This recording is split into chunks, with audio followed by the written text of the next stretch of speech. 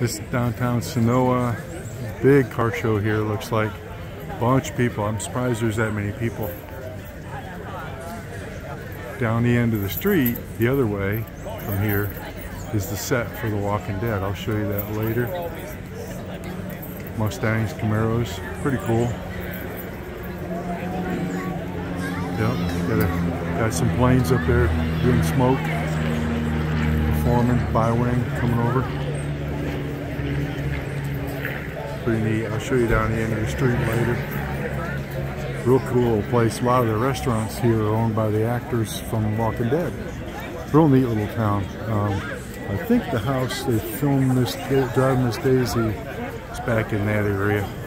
Not sure. I'll show you down here. There's a sidewalk that has all the movies listed on it. See you later. Bye.